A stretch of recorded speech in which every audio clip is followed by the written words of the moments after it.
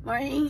Good morning mga beshies. Ito, morning grind na naman tayo ngayon, Monday morning.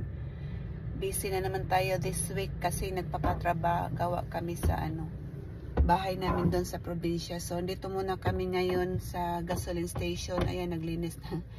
Linisan niya yung mga salamin. Nagpapaano lang kami ng diesel sa sasakyan. Ako nag-drive nitong ano namin sasakyan. So, uuwi kami ngayon sa probinsya namin at saka before kami uwi, mag-collect muna kami ng mga semento. Lagay namin doon sa, sa likod, dyan sa likod. Kasi ano to, pick up. So, pangatlong ano na namin to, karga ng semento kasi dito sa syudad, mas mura yung semento kaysa doon. May hardware doon sa amin, kaya lang medyo, syempre, ano na, medyo may tubo na so mahal. Kaya ito, ito kami sa sa syudad ng Butuan nagpa pa, ano, nag bumibili ng ano kabilya tsaka ano yung um, semento. So maya pupunta kami doon sa ano sa hardware na binibilhan namin. So magkarga na naman kami ng ano doon semento. Medyo malayo-layo yung ano travel kaya ako lang ang nag ano nag nagda-drive ng sasakyan na to. Ano pa ngayon maaga pa pero sobrang main uh, may, may ano na maliwanag or sinag na ng araw. Dito na ako sa hardware. Ito, magpalit na kami ng semento. Sobrang busy dito. Uy, nakaka ano, mag-parking dito. Kasi oh, ang highway dito eh. Yan yung ano, busy busy dito mag mag-reverse, mag-parking. Binobosinahan ako ng mga nag ano, nag nagmamaniho, dumadaan dyan. Ito yung ano namin, kargahan ng simento. Dito sa likod yung ano ko, dito sa likod yung kakarga yung simento. Ito yung hardware. Yan oh, may mga simento.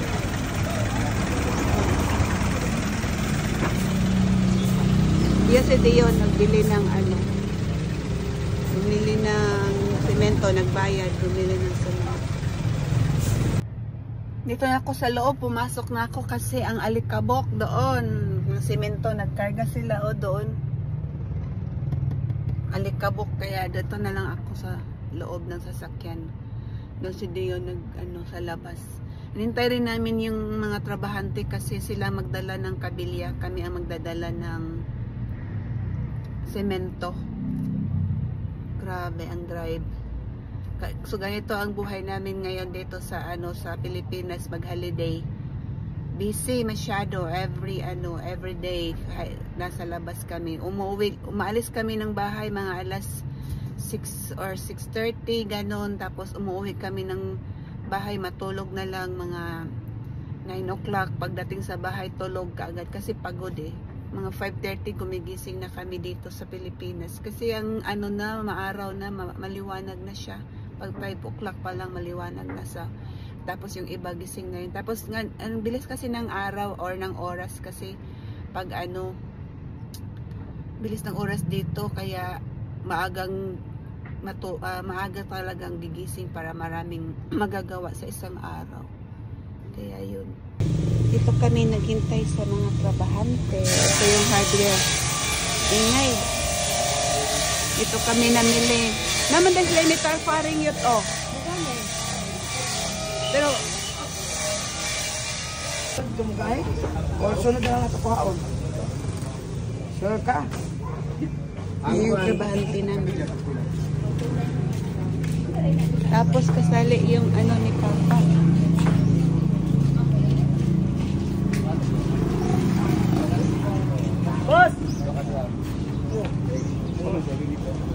Busy dito. Yung ano ni Papa din. Sali. Yung ano ng Papa ko. Multicab. Kargahan ng kabilya. Okay ra, madala kanan dire.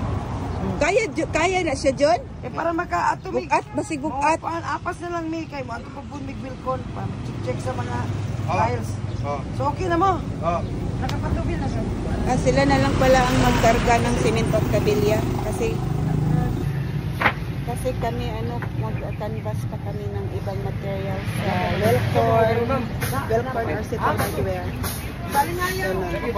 Pero di siya mapala. Ang ang plano, Busy masyado dito. Galing. Eh, wala among ipakuha siya nga iparipir ha. Ikaw da. Daga na ba yung iparipir? Ini may kuan, generator kay kuan. Baka na siya, dosi na siya. Oo. Ito yung man. 50 man na 30 ka na Ay, eh. hindi na na Pulo ka mo. nakabiliya. Baka magulang.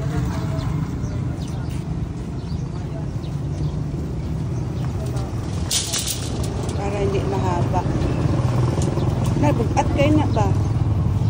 Ha? Bugat kayo na, dagan kaayo. Ano si Jun, ano? Kuha na nila. Salig lang. Salig lang ay laong. Isti ka naglo nila kiliagi. Karagad ko sila.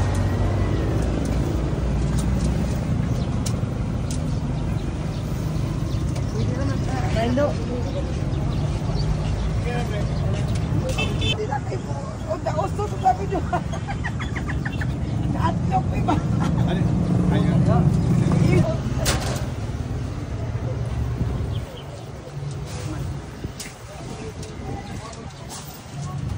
Diyan, basta may ka.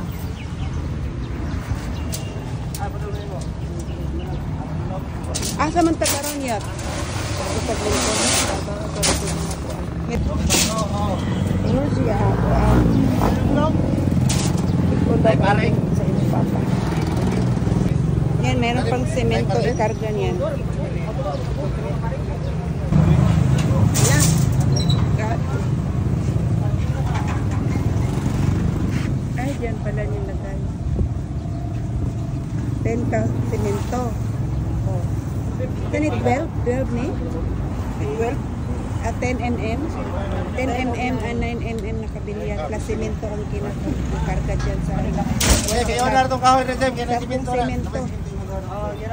Sana Tapos semento. Grabe ang alikabok. So kami, dito na kami magkarga ngayon kasi ano, mag, ano kami sa Wilcon. Sa bakante ang. Inugasan ko yung kahapon kasi ang ano, alikabok sa semento. Kaya punta kami ng Wilcon maya-maya. Grabe, so, sobrang init na. Sakit na ng init ngayon. Itim na itim. Okay. Salamat, Jim. Okay na na? Oh, okay na. Yun. Yan na yung order. Ang pin mo. See you later. Ang pin sa Ako pag-drive. yung Jun Mark, oh.